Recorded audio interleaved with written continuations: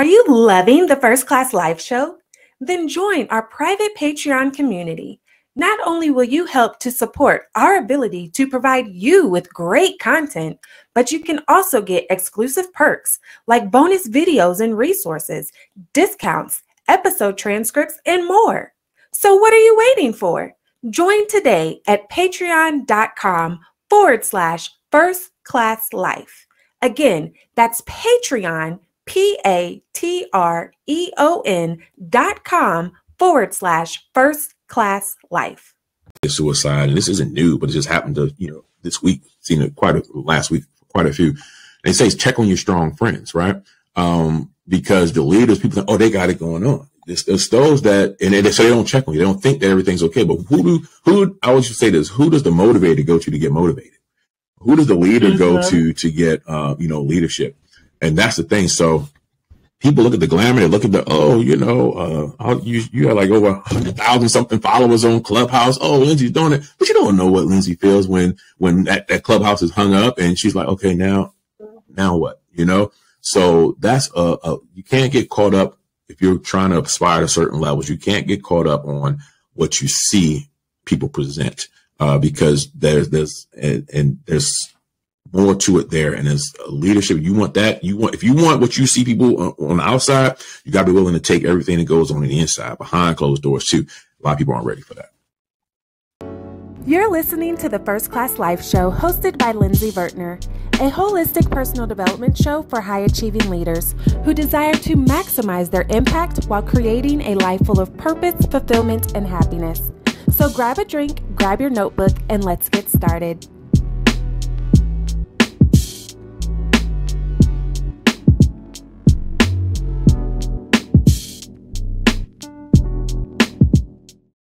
Hey, hey, hey, my good people. Welcome to another episode of the First Class Life podcast.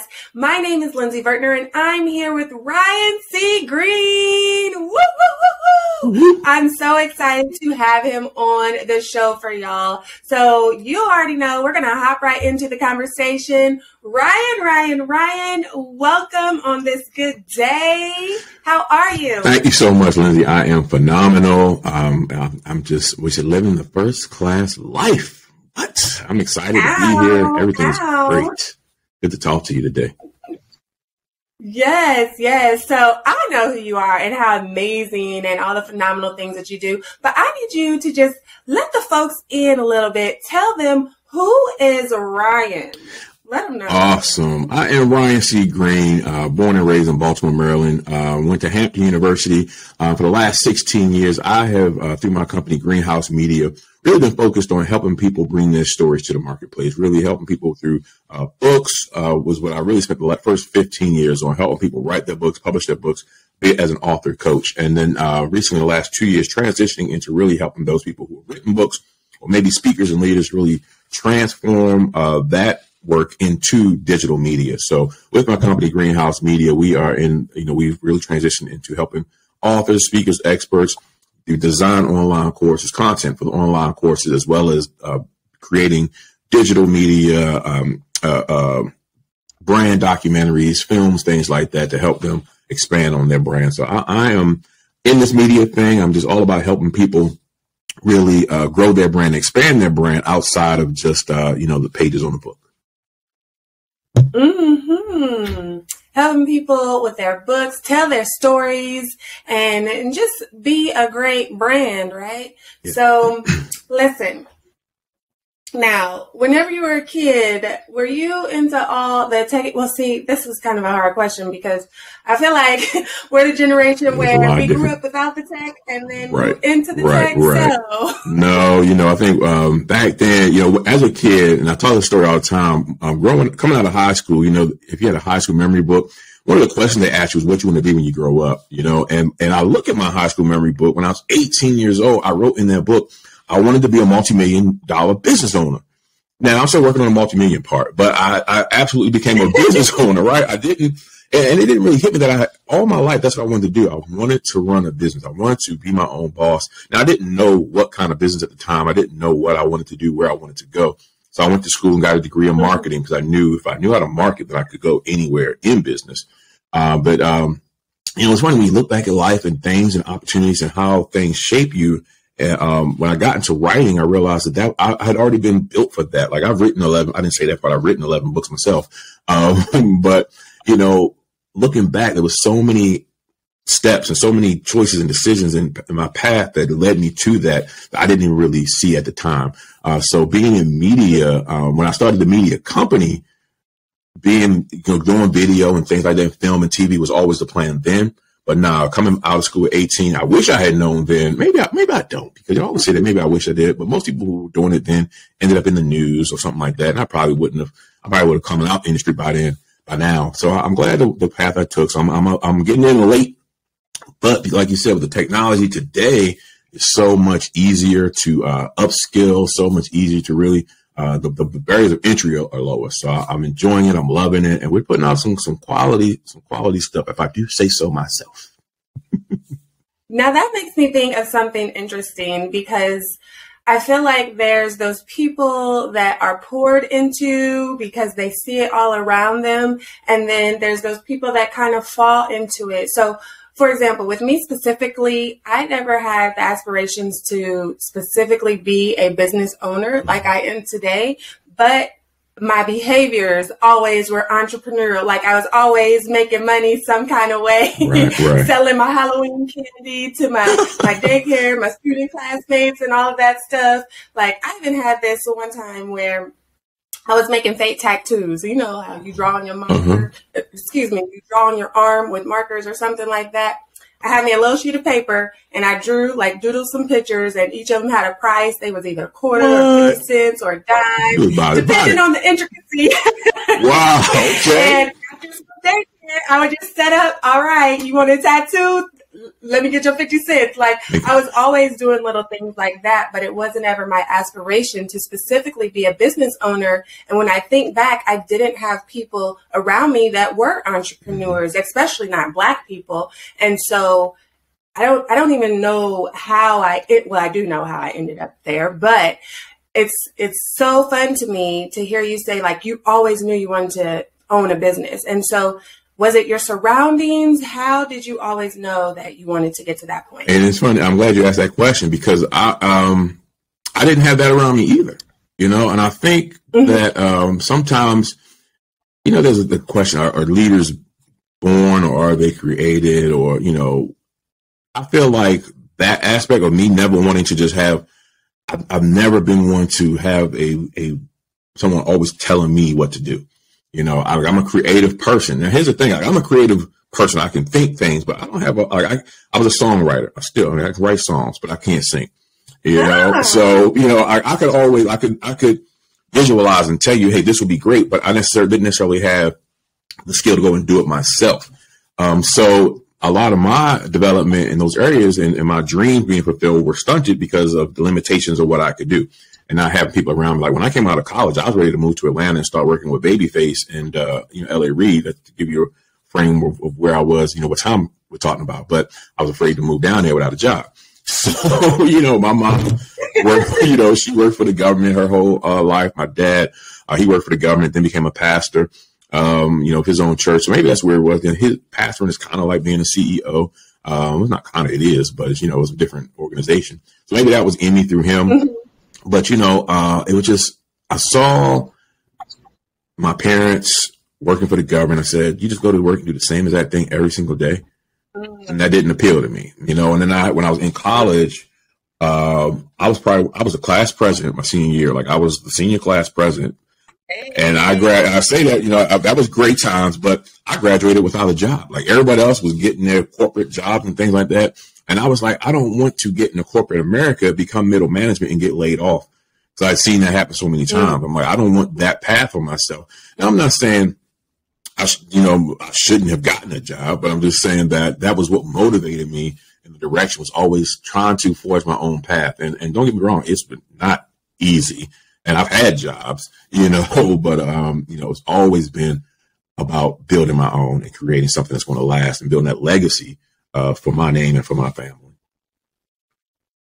Awesome, awesome. I know I had one guest and she her family, they always had that money and kind of poured into like, all right, you can do whatever you want. And so it's just so interesting, like hearing the different stories of how you came into yeah. what it is that you do yeah. today.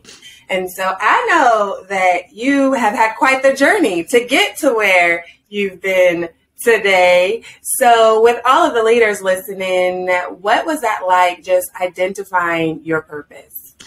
You know, that's a great question. I was, I'll start here. I was 26 years old when I read my first personal development book, uh, my first book mm-hmm. that was for enjoyment or, or, for edification. Like I read books in school, obviously, but I, I wasn't, a, I wasn't a big reader. So it's kind of crazy that I became a writer and books became my, career because I wasn't a big reader. Um, but it was 26 years old when I first started. I started a company before, but I started in direct marketing at 26 years old. And what really motivated me at that time was I had seen guys who looked like me. I had seen people who were from where I was from having massive success in that industry. And, um, you know, where the industry, some people call it network marketing, whatever you call it, multi level marketing, it has a lot of um, negatives that people look at. But if you look at it at the leadership development aspect of it, the personal development aspect of it, that's what really changed my life that's when I was like, wait a minute, like, okay, here's the missing key. Uh, cause I didn't come from a family with money. So we weren't, they weren't like, okay, hey, you want to go do something? We're going to give you $250,000 to go and start. No, that wasn't me. I'm sorry. That wasn't my story. But, you know, so, uh, I was lucky if I got $250 from anybody, but, you know, so for me, it was about that personal growth. Once my mind was open to, to what was out there, I was like, oh my gosh, this is what I was missing coming up. So that's really started me on the journey of being a speaker and a writer, an author, because I was like, okay, I need to get back to what others who are coming up from what I missed, maybe they can get it earlier. So the journey for me was all about, um, it was an organic journey. It was about just, okay, getting a little bit here. Cause as soon as I started with that company, I went full time sooner than I should have. And two days after I quit my good gov, my, government, my good job with the phone company, uh, I quit it on a Friday, September 7th. And on that Tuesday, September 11th, 2001, planes hit the World Trade Center. So I'm like, oh ah. boy, you know, I didn't left my job and now the whole world is different. So, you know, uh, but I kept pushing. And uh, from there, once I was in that organization, I realized that my, my calling was bigger than that. That's when I started writing books. And he's like, well, listen, you're in this organization. You can only promote what we do. We can't go out there and help you do this and that. All right, cool. So I left. And uh, so, I, right. you know, I feel like I'm, I probably went off a little topic, but you know, my, my point is your journey as an entrepreneur is going to be different than everyone else's. But mm-hmm. if you pay attention, if you know, if you're focused on where you're trying to go, you'll be able to appreciate each, uh, uh, um, you know, clue that comes along the journey, if you will. So, uh, for me, it was just about constantly learning, finding the right people, and, you know, I, I, say the saying about, you know, it's been 17 years and I'm like a 17 year overnight success, right? So it's been 17 years and now everybody, oh, look at Ryan, Ryan, Ryan. I'm like, yeah, it's been a long time coming, right? And I'm still nowhere near I want to go, but I, I know I'm, a, I'm mm-hmm. much further than I was. I'm, I'm, appreciative of where I am. But yeah, it, it's a journey no matter what, what you do. I absolutely agree. Yes, yes, because people see that that the lights and the flashy and they're like, oh, you're everywhere, blah blah blah. Like it's like you just came out of nowhere, right. and all I do is see you now, and it's like, eh, but you didn't see the years behind the scenes, and even still now, like just grinding it out to get to where I am today. And right. so right. people want that that overnight success, but don't want the decades long of work that yeah. comes yeah. with it. So I did not know that you were in direct sales. Um, yeah, that's where I got my start. Yeah, that's where I got my start. Did it for quite a few years. Yeah. So, what would you say is your biggest leadership lesson that you got from direct sales? Because that is essentially where I started oh, cool. for seriously my entrepreneur road. Like, I already had that spirit that I didn't even realize, but that is where I I really launched into being a business owner. And like you said, it's you can only promote their stuff and right, right. you only have so much wiggle room and it's like, mm, okay, I'm gonna go do my own thing. But thanks for like the vehicle to get exactly. to my next journey. Yeah. So what was the biggest leadership lesson that you learned from being in network marketing? Honestly, it was the personal development piece. It was understanding that you have to pour into yourself and become the person you want to to attract. You know, so um, you know, reading every day. You know, the personal development, um, studying, working with people who who are doing what you do, and, and having mentors. So just that really pouring into yourself because in school we weren't taught that. We're taught to go in and get a job for other people. We're taught to maybe become an expert in some field, but you're still uh, working for someone else. You're still uh, uh, doing some, someone else's bidding, working for, as we would say, working for the name on the building, not your own, right? So, mm-hmm. Uh, so that was my biggest thing. Understand that it was possible.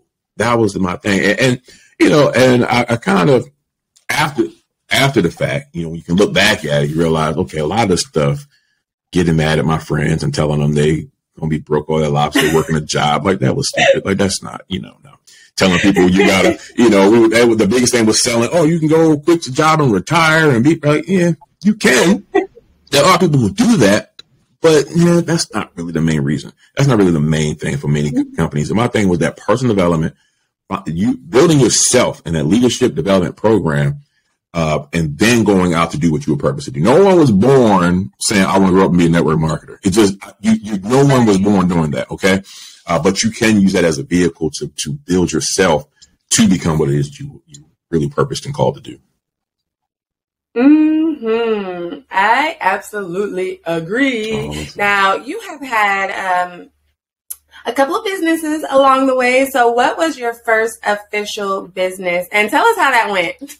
My first official business is, and actually, is still technically there is uh, a songwriting and publishing. Like I said, when I was in college, like I was legit trying to be a uh, the fifth member of Boys Men. So I had started, you know, I had started. Um, serenade serenade no, no, I can't. That's a, I remember I told you I could write, but I really couldn't sing. So like, I had the voice, like boy, like Mike from Boyz II Men.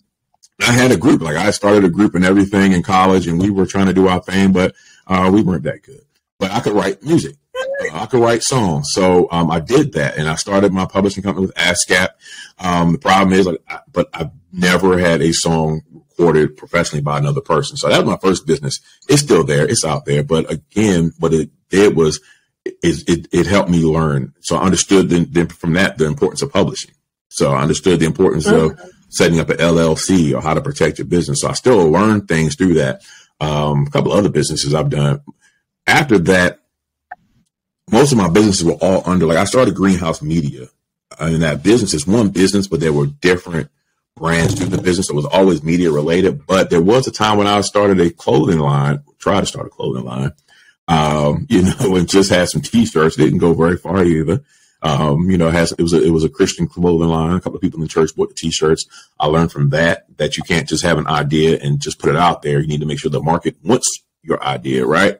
So uh ended up donating a whole bunch of t-shirts to the Goodwill. But but you know, but other than that, everything else from there has been media related and has been successful. Um some things were um, you know, seasonal projects, like okay, that was good for then. Some things have, you know, kept going the whole 16, 17 years I've been doing this thing. So, you know, I love that people see me and they think, oh, Ryan, you're doing so many different businesses. You're always doing this, doing that. And I tell them like it's one business. Um, just like a, mm-hmm. a Viacom is one business, but there's different arms. The only difference is you only see me, you know, so it looks like, oh, he's doing this, he's doing that.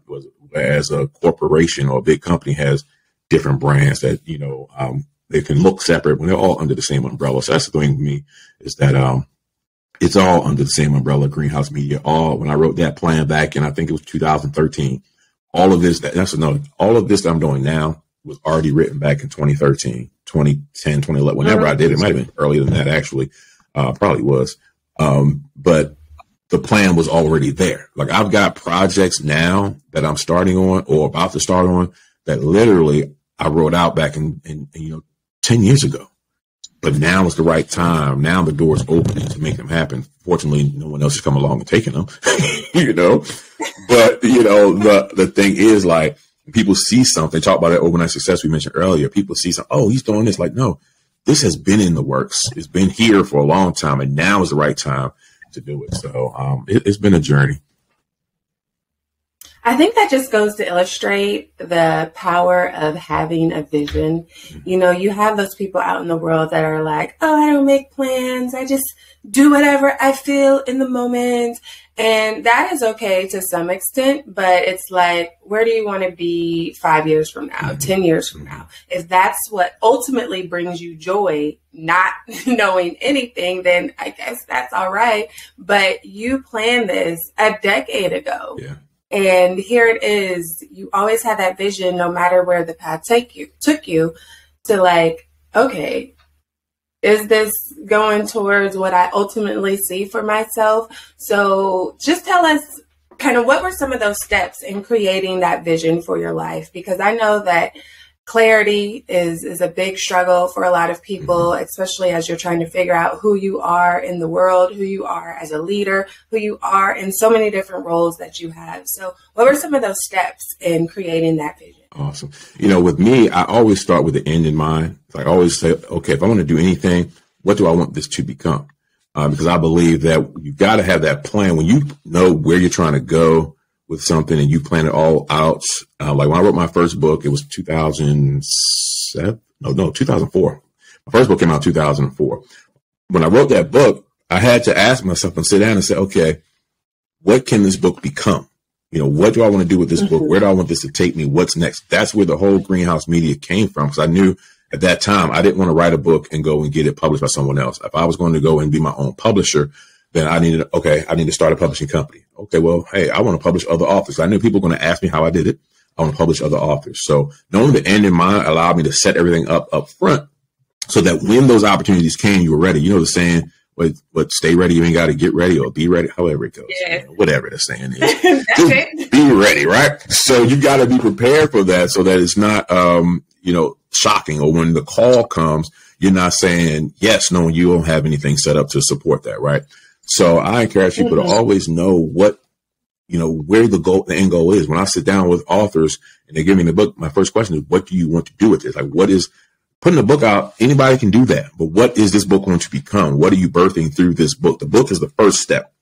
So, uh, for me, it was a matter of, of doing that, knowing where I was trying to go with it, because that's going to direct how you market the book, how you write the book, you know, um, you know, whatever your, your thing is, whatever your book thing is you know, if you're your speaker, okay, well, do you want to be a uh, corporate? You can't just go out there and speak. Do you want to be a corporate speaker, a, a church speaker, you know, church speaker, you know, children speak, whatever it is. So knowing the end goal is major because then it also helps you with the planning process. Um, it helps you understanding, most importantly, what sacrifices have to be made, uh, depending on which journey you choose. So um, that's the biggest thing is no start with the end in mind and, and be honest with yourself about the work that's going to take to get there um, you know, and, and what you're going to need, the resources you're going to need to get there, and, and, and time is going to take to get there. Um, and then that way you know up front, you, you, you won't, you know, it's not a, a, a foolproof plan, but at least you're better prepared as you're going along the journey. Yes. Just having that preparation. And what I keep hearing as you're talking is being intentional. Mm-hmm. So, for those of you that are new to the show, First Class Life is actually an acronym that stands for the different skills and characteristics that you want to embody into your entire lifestyle to create a first class life full of purpose, fulfillment, and happiness. And the I in first stands for intentional. And I feel like that is exactly what you have done over these years is be very intentional about the path that you want to take for yourself. What would you say to that? I wish I was that smart to have chosen that word because that was the perfect way to put it. That was that was it. You gotta be intentional, and and that's the thing. You know, people. I'm gonna I'm gonna share some now. Hey, you know, people have always if, if people. I'll, I'll, share how I'm mostly described, how people describe me when they when I hey what what, what do you like best about Ryan? It's always oh he's a visionary or he's so ambitious. Mm-hmm. And while those are positive, they, they sound positive. It's like there's a lot that goes into that. Like it's not like that's fun being that person, right? It's not easy being that, right? You don't necessarily grow up and someone tells you how to do that. So when you talk about that mm-hmm. intention, uh, when you have that vision, yeah, it does make you intentional. It makes you intentional, but also it makes you that intention brings that hyper focus, which um, mm-hmm.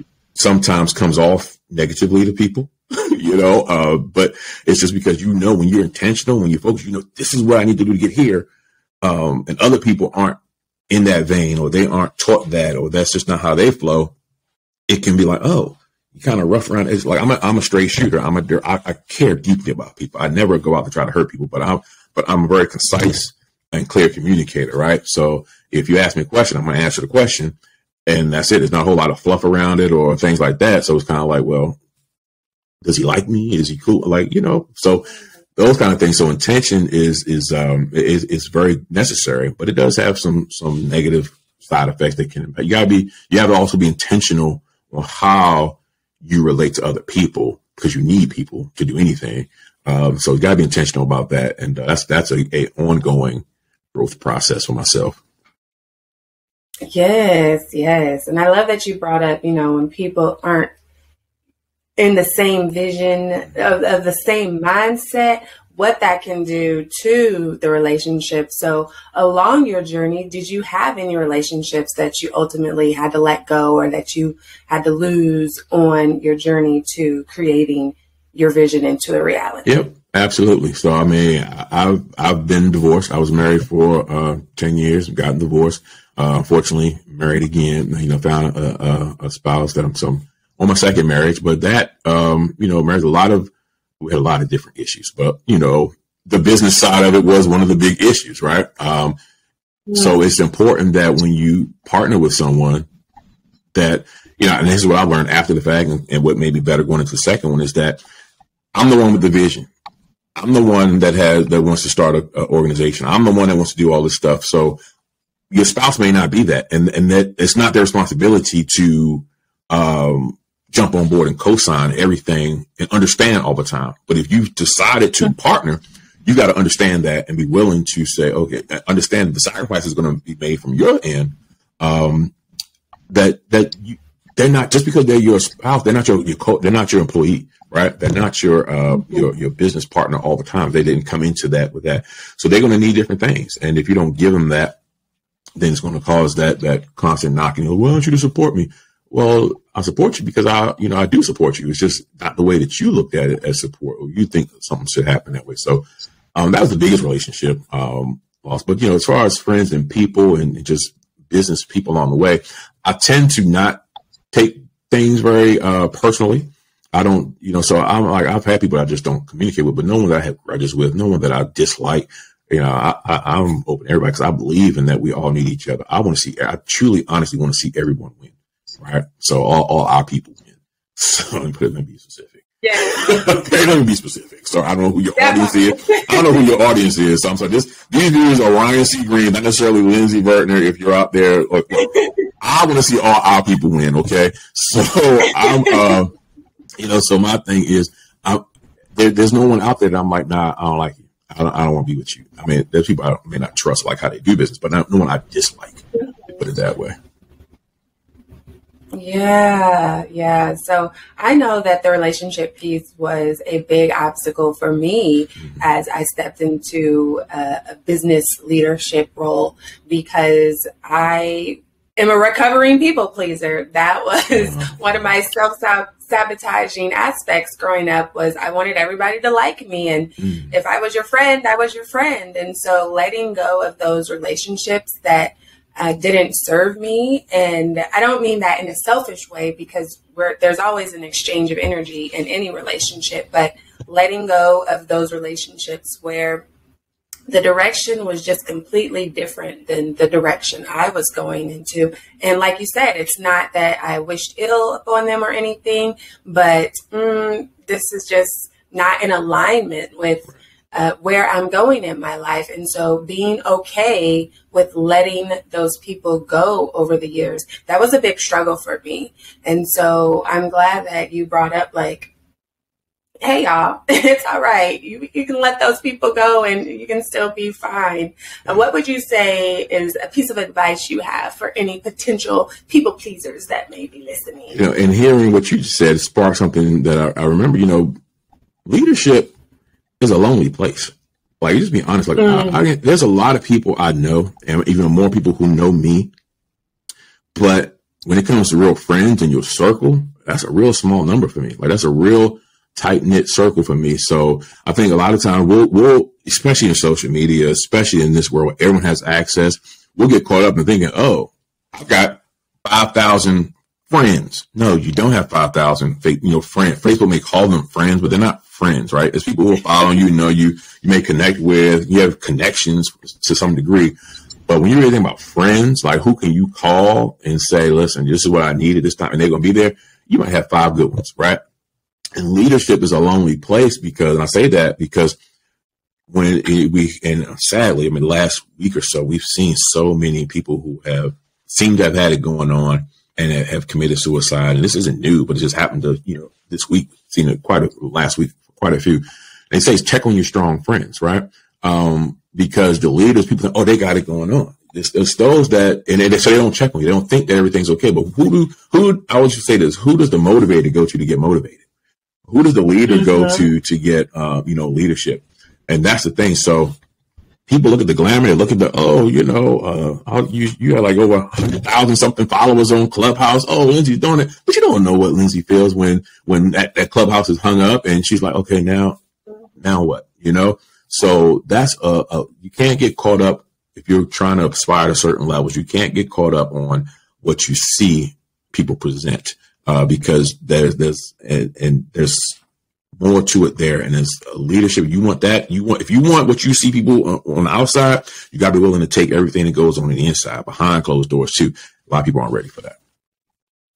Yes, yes, that is a key piece that's not talked about enough in being a business owner. Is just the lonely part of being a business owner.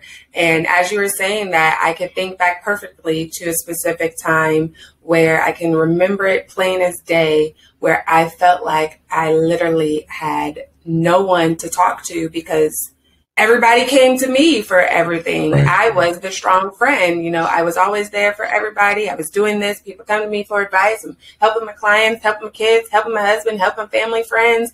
And then it was like, all right, wait, who do I talk to for for this exhaustion that I'm feeling right now, for this uneasiness that I'm feeling right now, and I didn't feel like I could talk to anybody because everybody came to me as the role model. And it was like oh oh what do i do now? And i just remember i just broke down crying and crying like the ugliest knot face mm-hmm. crocodile tears crying because I felt alone. Like even though I was surrounded by all these amazing people, I didn't feel like there was anyone that I could truly share my intimate moments with, yeah. um, going beyond like, you know, sharing with your bestie type of thing because at that time most of my my circle they weren't entrepreneurs, mm-hmm. so to speak. Like they had their dreams and their goals and things like that, but they weren't actual business owners. So they didn't get that aspect of the journey that I was on.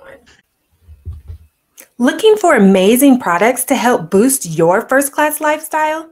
Then head over to firstclasslifeshop.com where you can treat yourself to personal development books and workbooks, lifestyle affirmation cards, adult coloring books, mugs, notebooks, hoodies, t shirts, leggings, and more. All products were designed to help you master your mindset, walk in your purpose, and live your first class life because you deserve it. So treat yourself today at firstclasslifeshop.com. Again, that's firstclasslifeshop.com com. And then they know, and you know, rather, those people will end up, they, and it's not that they're meaning that they mean any harm. They only know what they know. So they're going to say, okay, well, mm-hmm. you know, maybe you should get a job. Maybe you should go and do whatever your situation is. Maybe you should do this. Maybe, and it's like, no, that's not the answer, you know, or, or then you feel like, well, if I go to someone and tell them, hey, I'm struggling, everyone's going to think that I'm a joke. Everyone think that I'm a fake, that I'm not real, that I'm not really, you know, you know, how do I go and and write about success if I'm not having success, you know, right now in this this this window, you know, so it can jeopardize your whole brand and your whole business when you do open up. So yeah, it's it's um it's a struggle that uh, definitely you got to navigate, you know, as that leader and find your ways to that work for you to make sure that you can get what you need to uh, constantly pour positivity and, and uh, refresh and refuel, refuel yourself. Yeah, I think that's an important piece that we need to be transparent about this journey mm-hmm. because a lot of people will portray just the good side and the glitz and the glamour. And it's like, well, then if something were to happen, everything kind of crumbles. And so people are drawn to you more when you share the good, the bad, and the ugly along the way because then it humanizes you. Yeah. It, it takes you off of this untouchable pedestal and people still admire you at the same time, but they feel a, a deeper connection because it's like, oh, wait, they're doing all these amazing things and they still have feelings too. right, right, right. That's always been my my style in my talks and in my books. Because every book I write, I tell my story. It's all half autobiographical, autobiographical, and then I take lessons that I learned first, and then I teach other people. So I've always been that person that wanted to be authentic, wanted to be uh, touchable, wanted to be people see I'm just a regular person. But I read mm. the books by you know some of the greatest one, you know, greatest writers and leaders, and like, okay, well that's cool for them, and they never talk about when they struggled. Like, okay, so you just started day one and you had all this and never had, you know, tell me about the journey. Tell me about the time you, like, for me, I quit for four. Like I told you, I've been doing this thing for six, 17. I, keep, I need to really get, find out when I started, get a date. 16, 17, I need to do the math, right? 16, what's 2004? This 2022 minus 2004. What is that? 16 years. So 16 years. Um, but for four of those years, I quit. Like after that divorce, like for 2009 and 2013, I did nothing. Like I quit. Like I stopped. I didn't want to do it anymore. And if, right before that, I was ascending up. I was like, I had written one of the books. I was my, my one of my greatest works. I was like, this is it. Here we go. And then boom, like that hit me. And uh, for four years, I was like, you know what? I'm just going to be a regular person. I'm going to be an average person, I'll get a regular job, and just figure out to be a regular person in society. Uh, but the thing about purpose is that purpose won't let you run forever. Purpose will chase mm. you down and say, okay, you ready for me yet? And uh, that's what happened to me. 2013, I was like, you know what? I know what I'm supposed to do, who I am, and where I'm supposed to be, and I uh, got back on this thing. Um, so, uh, you know, there's times it quit, but you don't hear people talk about that. They don't talk about when they actually gave up and, and uh, didn't do this and didn't want to help people anymore because I needed more help than anyone else. you know, so yeah, it, it's real out here in these leadership streets.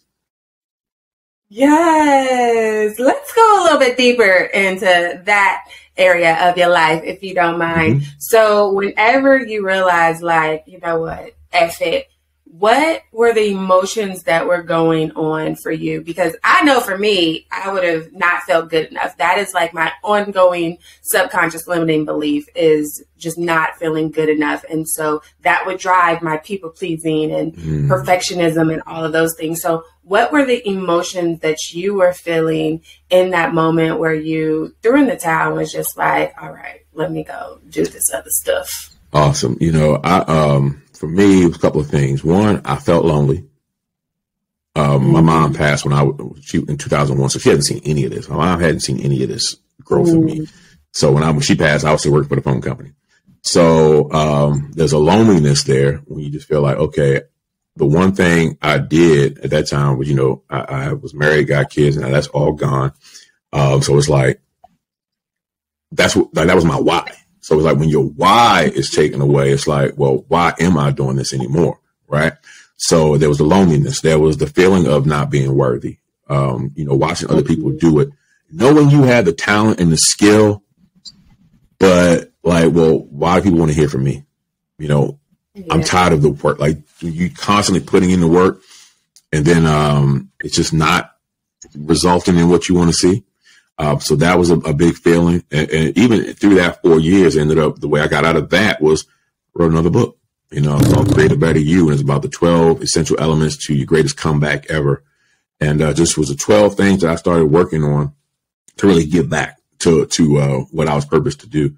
Um, but really, it was that I, I had I moved away. I went back down to uh, Hampton and started working at my alma mater uh, just trying to start over, just trying to figure things out. And it was just um, for a long time, I just felt like I was just a nomad, just kind of like I'm just here. No one sees me, you know. And when I say see me, I don't mean like on stage. I just mean like in life and value. Like I was just another person. And while I was sitting there saying, "Okay, I'll just be another person," my heart knew that wasn't what I was called to do. Right? That what I was. I was not born to be just another person uh, just an anonymous, you know, employee somewhere. So um, that just, you know, step by step, little by little, started pulling myself out. But really, that loneliness and that feeling of just uh, not being good enough was really what, uh, what, what I was dealing with a lot during that time. Yeah, and I feel like that is a big thing for a lot of people subconsciously. I mean, we're not standing in the mirror saying, I'm not good enough, but it, it shows up in our behaviors, in the perfectionism, yeah. in the people pleasing, in the over analyzing, the overthinking, the doubt, trying to do all the things for all the people. And so I, I just thank you for being willing to share that. And I know you mentioned that you wrote the next book to kind of start that process to pull yourself out. But what were some of the specific steps in changing that mindset to be like, you know, I am born to be something more than this. And that's why I keep feeling that tug on my heart. Yep, I, I, wish I had the book right here. I went through them. Um, some of the things was really I started with um, first thing was creating a better connection, and uh, one of because I told you I felt lonely, and I realized that I had to make a better connection, and it was three things I had to connect better with. First and foremost was God. Like I had to connect better with Him and reestablish that relationship um, because He's who gave me the purpose, right? And I was like, well, you know, He's not going to. I never was one who want to blame God for anything that happened negative to me. I always took the onus on that. So that was my thing was taking personal responsibility for everything that happened. I take personal responsibility for my role I played in the divorce and how can I change from that? I couldn't go and just keep blaming her for what happened and think I was going to think I was going to grow. So I take that responsibility. I had a better connection with him, had a better connection with my purpose, which kind of said, okay, well, if this is where you're supposed to be going, how are you going to get there? So I had to connect with that again and just re reestablish myself in that footing. that's how the book came. I'm like, well, this is what I am. I'm an author. I'm a speaker. I'm a, that's how, you know, podcast and things. So step by step, I was just easily, I mean, easing my way back into it and then had to make a better connection with people. Um, so, you know, being lonely, I said, well, who can I connect with? I need to find relationships that matter, relationships that I can, uh, that are pouring to me just as much as I pour into them and just stop being, uh, you know, a, a, loner. Stop being, you know, feeling like I'm a drifter out here and just really start connecting again to those things. And then through the other steps in the book that I talk about that kind of led the way, but really started with connection. It started with those three pieces of connecting better uh, to really get me back on that right path. And then from there, doors started opening up because my journey started before social media. So, you know, I told you 2009 to 2013. So it was like right before social media really started taking off up until you know, that really kind of helped uh, open up the things and really connect with people, better people. Uh, once I started really mm-hmm. using that tool in, in a positive way. But yeah, when it's out there without social media, um, and you just, you know, you don't see what other people are doing, you really felt alone. Now, of course, there's a lot of negatives to social media now because that'll make you feel like you're definitely inadequate too. Uh, but back then, but even, but at least you know people are out there, you know, but back then, as like people weren't sending me greeting card saying, "Hey, just checking on you." So you know, it's uh, it was it was it was, it was definitely um, you know, a whole lot of things that went into just the rebirth of me and rebirth of Greenhouse and just getting back on on board. And um, you know, like I said, once I made that commitment and started the work, you started to see those doors open. You know, that's when I met my my current wife. That's when I you know started. I met with. uh It's funny we friend, the way I met her was I connected with a friend from college. We started doing a radio show. Um, I didn't even know he knew her. We all went to the same college. They were close. I didn't even know her. Um, and that's how I met her through an event we would, he and I were doing. So you never know how uh, just being present will impact any aspect of your life. You know, you and I met because we were both present at the Cheryl Wood event. I didn't know who Lindsey Vertner was. You know, but when you walked in, I said, well, who is this tall lady in this red dress smiling like that? Let me go. And I was taking a picture. Let me go. And I found out who you were. I'm like, okay, let me, let me figure out, let me, let me connect. But it's about being present. Just being, you know, we'll get sad. You can't get sad and just want to go sh- uh, shut yourself up. Your answer isn't in, uh, you know, the closet hiding from everyone else. You know, being present and being around people, that's how the doors, that's where you'll meet people, being open and, and trying to figure out um, who's who and, and, and how you all can work together in each other's lives. So I encourage you all, you know, that, that that's what helped me. Yes. And what would be a great tip for helping people to connect better, whether it's on social media or off social media? What would that key takeaway be on how to make better connections with the people around you? All right, let's see. I, I'm gonna give you a more of a I don't know what you even call it, not mindset, but more of a I don't know. I'll just say it. I, I believe it's not a tactic, but being open to changing how you look at things. Right? you can't be afraid mm-hmm. of collaboration. You, I think that mm-hmm. our people have been taught for so long that we got to hold everything to ourselves. Somebody's going to steal what we do, blah, blah, blah. Now, I believe in abundance. I believe in collaboration. Everything I do, I'm like, who else can I help with this? So I think that we get rid of that, understand that we can build a lot better, a lot faster together. Uh, that'll open up a lot more doors. You know, if, if we look at people and say, oh, well, she's doing a show, I can't mess with her because it's going to mess with my show. No, do the show together. Both of you be a guest on each other's show and help each other out. Meet people that way. So I just, just um, changing your mindset on how you look at how things flow. Uh, I think that's mm-hmm. going to really uh, do do a lot better than any one tactic I can say. But just you know, understand there's enough for everyone out there. You just got to go out there and be present and be willing to uh, explore and, and uh, make those connections. Yes, I agree with that. Awesome. Collaboration over competition. I'm actually going to be doing a room on Clubhouse in a few weeks um, mm-hmm. about that very thing. Like, it doesn't have to be competitive, whether they're in the same industry or not. Um, and just overall in general, when we come and connect together and you take your gifts and your skills and I take my gifts and my skills and we put it mm-hmm. together, it makes this beautiful thing and we can catapult essentially to the next level instead of like trying to track it out right, inch right. by inch on our own. Right. And if your if your goal and purpose is really to help other people as opposed to edify yourself, then you'll work with other people because you realize I can get in front of more people, I can help more people by working together. But when people are like, no, mm-hmm. this is me, me, me, that's really, they're, they're really about themselves. It's not about the end goal. They want to use those people so they can get rich or edify themselves. It's not about helping those people. Because if you want to help them, then mm-hmm. you'd be willing to, to do whatever, uh, so that you can, you know, work with whoever to make sure that you all can uh, impact those people much more. Yes. And I think that's a missed part of understanding leadership is it's not about bossing people around. It's about mm-hmm. coming with a servant attitude and you're here to serve. And a great leader creates more leaders Absolutely. in the respective fields and things like that. So, all right. We've been talking about some good stuff. We done hit on vision, purpose, intentionality, relationships. So, so good. And if you don't mind, we're going to play a little gamey game, game. Okay, game. I like that. Let's see what's up yes, yes. Let me pull out my timer. Mm-hmm. Uh oh. So how this game works is it's called First Class Favorites. Okay? okay. So you'll have ten seconds to answer Uh-oh. whatever it is that I ask. What is your favorite? Insert blank here. And uh, I hear the rules. Like to have I dropped my earpiece. A little fun. I dropped my earpiece. I didn't hear the rules. Sorry about that. My, my ear thing fell out. Tell me the rules again. What we doing? Sorry. Yeah. So you have 10 seconds uh-huh. to fill in the blank. I'm going to ask you about all different kinds of favorites, okay. and you got to get answered in 10 seconds. Okay. okay that, now, that. you know, we like to have fun on the First Class Life podcast. So, whatever is a wager, um, the first thing that I always go to is is take a shot if you miss it. a shot. Those of you that are safely at home and you'd like to partake in some additional spirits in uh, oh, in your cup, then uh, yes, take a shot if he misses the buzzer. Okay. okay. Okay. Okay. hey, this for real. So, for real.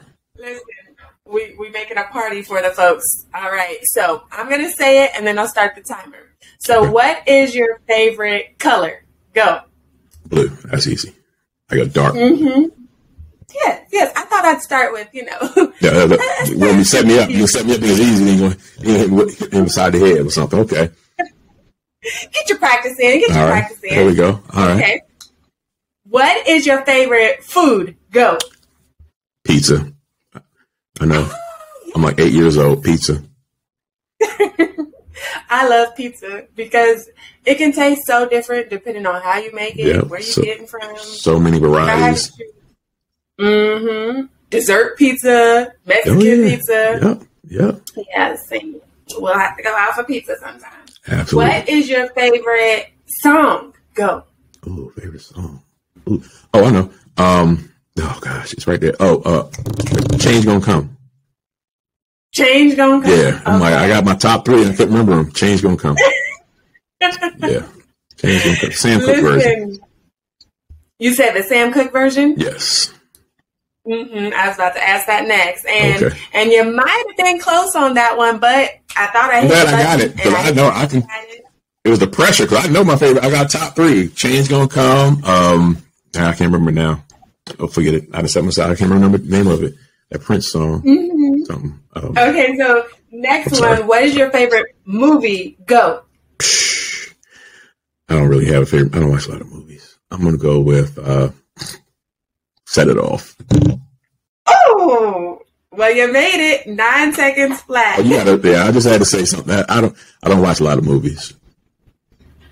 Man, I do watch What is your favorite book? Go.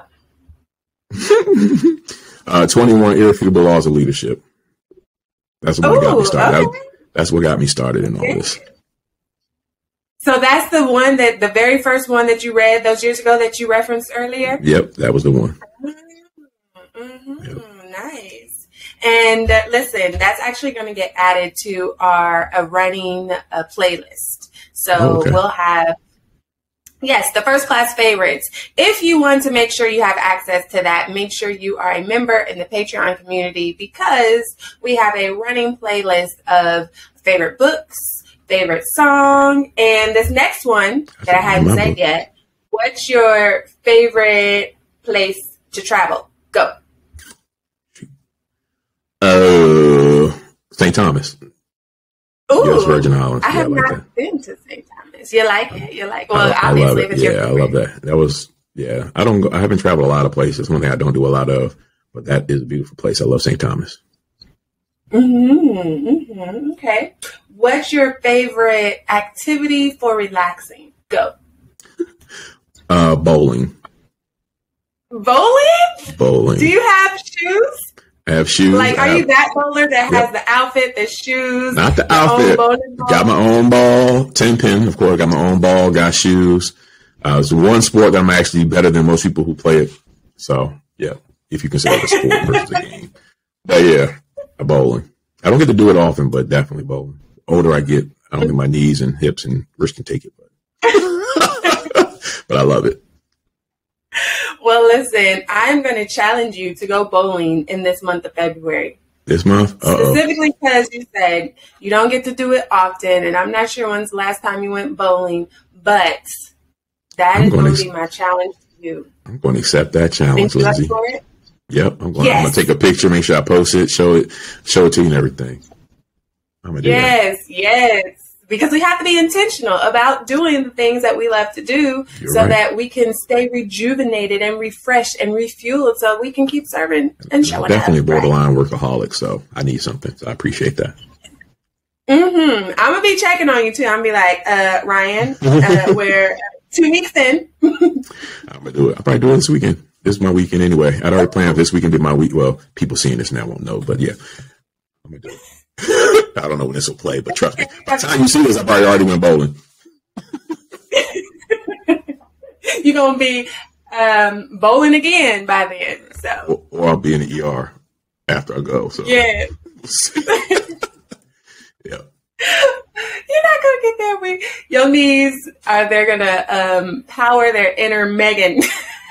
the male equivalent of Meg Thee Stallion what would be the male equivalent? Dancing or her lyrics? I'm like male. like, I don't know if there's a male performer equivalent. The knees. Shoot, I don't even know. Should they even? I don't think there should be one. Like I don't. There is no man who can. I don't know. Oh, she probably. I, am not even gonna say anything. I'm not get myself in trouble. Nope, I don't know. if that was a question, y'all gotta take a shot. Know that answer right. Now. Y'all gotta take a shot on that one. I got nothing. If that was a question. Mm. if, if it's somebody out there, I probably don't watch them. Yeah. I'm sure there's a lot, a lot yeah, of those, those like, Vogue dance. A lot of those guys out there who do Vogue dance. I don't know any of their names, but there's a lot of guys out there who can compete with her. I bet. But um, okay, you know, I, don't know, I don't know their names. So yeah, we'll go with that. Any, any of those, I've seen. Them. Yeah. So I was going to say Billy First Porter, but he's too. My old. head was Tom Brady, but I was like, that's probably a, a good arm. Not yeah, so, you said I was stuck on knees, but yeah, yeah, maybe I can see that. I can see Tom. I'm trying to think. Hold on. You threw me off on that one. Now, this next one, you don't have a time limit. Um, what is your favorite quote? Uh, feel free to share it with us and then explain why it's your favorite quote if you have one. Oh, man. Being put on the spot makes it difficult mm-hmm. to recall. Right. Oh, you know what? You can't see the whole thing. But I, I, Biggie is my, you didn't ask my favorite artist, Biggie Small. So my wall, I can't reach the camera to move it. But, um, I like all like these are my three favorite quotes. The sky's the limit. It was all a dream. Damn right, I like the like I damn right I like the life I live because I went from negative to positive. So uh, mm. those are the three that really uh, resonate with me now. So I don't have any spiritual quotes to give you or any kind of uh, Maxwell leadership type. Look, I'm I'm hip hop. That's what my hey, listen. And that's what we love here in the First Class Life podcast because it's all about being your authentic self and your you does not have to look like somebody else's you. Actually, I don't want it to. The world doesn't right, want right. it to. I love for you to show up as you. The world needs you to show up as you. So I love those quotes. Thank you. Thank and you. I, I think the one right behind you was all a dream because I started singing it in my head, low key. Mm-hmm. Um, before, like, yes, as soon as you came on camera, I was like, it was all a dream. That's I it. to read magazine. you do a good biggie. I gotta give you that. You do a good biggie voice right there. It's better than mine. That was good. Hey. Okay, I like that. So, those pictures, did you buy them somewhere? did you have them custom made? Because I just love, like, I've never seen that specific, the negative to positive quote of his on like any type of print material. I made all of myself. When I uh, started opening my studio, I needed wall art, and I said, mm-hmm. um, who who am I what am I gonna do? And I created all three of these. A friend of mine, shout out to Ben, uh, I mean um, Dwight, his last name. Shoot, I should have said his name. Stelmach or something like that. Great artist. He showed me how to get the canvases made. And um, so I made them in the canvases, but I created these. I grabbed the pictures offline, put the quotes on there, designed them all. So I did that. These are all three RyG uh, originals. So you won't find them anywhere yes. else. Listen, that's what you got to do. If you're not finding what it is that you need to take you to that next level and to keep you motivated, sometimes it's up to you to just create it or be mm-hmm. the blueprint yep. for those behind you. So I love that you did that. Thank you. Thank it is definitely within you. Definitely within you. And speaking of within you, I know that you have a, a great project that includes a book, it has a summit, all yeah. about walking in your authentic purpose, being who you're called to be. And it is called Born to Be Dope. And I just Absolutely. love that. Tell us a little bit more about that project. What does it mean? Who's it for? Why did you decide to create it? Man, that was a great segue, Lindsey, because Born to Be Dope is, is a combination of hip hop, which I love, and I've, I've, grown up in that culture and personal development. And, and you can see that we got clothing line, uh, just one of the sweatshirts, but Born to Be Dope. I was like, how can I be my authentic self? Because, you know, I'm not the suit and tie. I stopped wearing ties a long time ago, right? One, because I don't have a neck, so I don't like wearing this. I a suit and tie, but you me looking like this, right? So I, I, I'm like, look, but you go and speak, oh, you got to be in a suit and tie. I'm like, I love the way suit and ties look, but it's not me. I'm not comfortable. I sweat, you know, a lot. So I'm like, I don't want to be on stage in a dress shirt. And my, you get the wet spot, but I want to be me because I know I bring value to the stage. Okay, how can I do that? Hip hop. Okay, I want to be comfortable when I'm on stage and I want to incorporate who I am in all aspects of what I do. Um, so that's where Born to Be Dope came from. I was like, you know, after this is my 12th book project, but it's bigger than just a book. Um, so I was like, what is that thing? What is going to be the the mantra that that carries me on to the next phase of this, you know, my, my career, my business, and how can I help other people with it? And it was born to be dope because it's a celebration of being unapologetically great at being you. Just like you said, we talk about being your authentic self. There's so many of us out there who are stuck comparing ourselves to other people. We're stuck trying to live life on other people's terms. We're stuck trying to do things uh, the way we feel other people told us they should be done. And we're not tapping into what makes us great. And I think that that's the thing. We look at social media, we look at other people and start comparing ourselves. We have that imposter syndrome. And we think that, um, you know, we're not good enough. No one wants me. but you are born to be dope. You are born to be, uh, you know, share your special sauce, your secret sauce. So this project is about helping people master, magnify, and monetize their unique dopeness mm-hmm. so they can have maximum success and impact in life. So started with what I call a visual mixtape, a personal development visual mixtape. Um, and what it is is a film. We, recorded a film, filmed. We recorded a film, or film a film. I don't know. We made a movie. Okay? so we made a movie, and uh, so we got people like Dr. Cheryl Wood, uh, Tracy Lee, who's a hip hop artist, Mark Clark, who's big time media guy. We've got um, Kareem Ellis, who works with Les Brown and hosts his Monday Motivational Call, and a host of other people uh, in in the film. And then from the film, we're doing an audio book. So those people are also creating an audio book so that you're not just going to be, you know, we've done, I've done compilation, I mean, anthologies, I've done books and books are great. But I'm like, if we out here trying to speak and help people, let's, let's do audio, right? Let's let them really get a hundred percent of who we are. So we're doing an audio book. And then the really the biggest thing is the summit. We're doing a virtual summit February 25th through 20, was it 25th to 27th? So we're doing a summit. So, um, you know, that's going to be huge and it's going to be an ongoing thing. So it's just the first one. But, um, so if you missed this one, there'll be another one coming as well. But, you know, it's just a matter of just, and it's resonated. People are really attached to it. I'm like, I knew it was good. Like when I came, you know, I said when I came up with it, when it was delivered into me, but, uh, you know, I knew it was good. But I'm really even surprised at how much it's really resonated with people, how it's taken off. So it's been a long process of putting this first one together. And we're just finally at the point where we're, you know, about to launch this thing and people are ready and I'm excited. And I just think that, you know, it, it's, it's going to be something that it's, it's opened up even more doors than I anticipated. Um, it's mm-hmm. gotten us, uh, if you don't mind me sharing, it's also gotten us a partnership. Now, I haven't announced this yet, so this is breaking news for your people. Um, that, uh, hey. yes, we have even now partnered with Exposure Network TV that we now have a TV, Born to Be Dope, Exposure Network DMV channel. So we have the whole DMV on literally on lock. We're running the DMV. So this is open up a TV network. and now we can offer um, more exposure to people who are out there just trying to get, you know, find their way. So now they have a network that we they can come to and, and put their content on. So this thing has really taken off. I'm excited about it because, and that's just what hip hop is. Hip hop is the most powerful cultural influence, I believe, in the last 50 years. And you just see how powerful it is because people, you know, when they feel it, you can't deny it. So it's like, you know, yeah, just tap into that dopeness and just be you and stop comparing yourself. Stop worrying about everything else. Just go be you and watch how that helps you. So uh, that's what we're doing, man. That's where we came from. And, and I want to thank, I want to thank the man, Biggie, baby, baby, for, uh, but, um, you know, it's just, that was really what it came from. And I'm excited about that.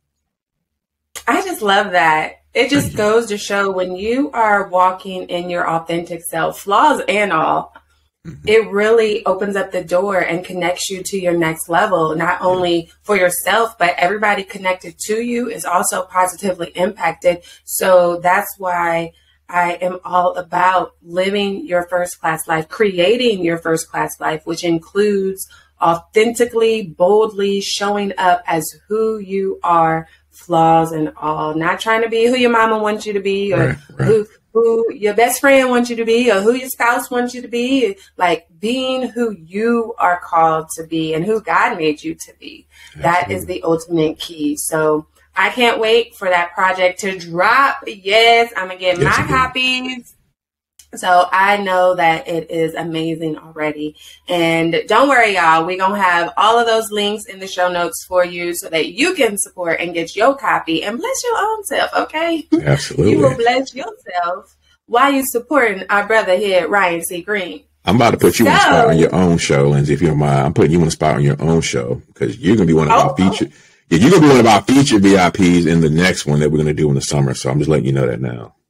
Hey, okay. I accept. Okay. I accept. All right, great, great, great, great. Cool. Y'all heard her. Watch out for the next one. Yeah. Featuring yeah. Lindsey Vertner. All right, great. Sorry. Go ahead. So I know your, you have this big project. No, it like this is what it is. Like we keep it real, so it's fine.